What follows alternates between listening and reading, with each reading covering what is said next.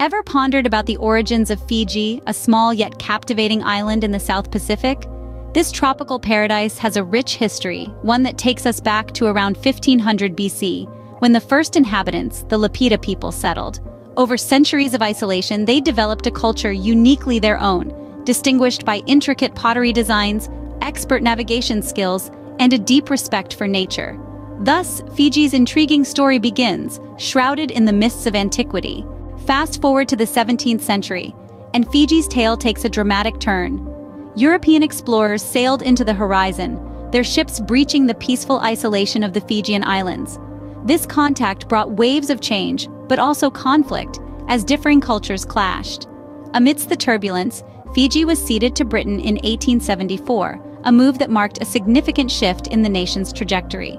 The vibrant, independent island society was now under the rule of a distant empire, and so, Fiji, the independent island nation, became a British colony. However, the spirit of freedom didn't die in the hearts of the Fijians.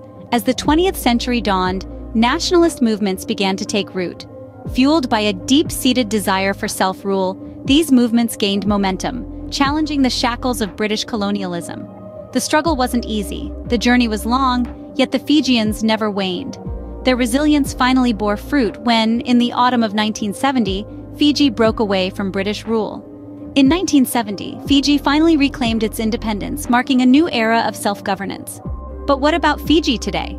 Fast forward to the 21st century, Fiji emerges as a vibrant melting pot of cultures, indigenous Fijians, Indo-Fijians, and a mix of other ethnicities. This multicultural tapestry has its challenges, yes, but it also brings remarkable richness to Fijian society.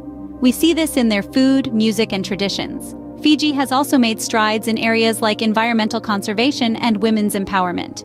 Thus, the tale of Fiji continues, a small island with a big history.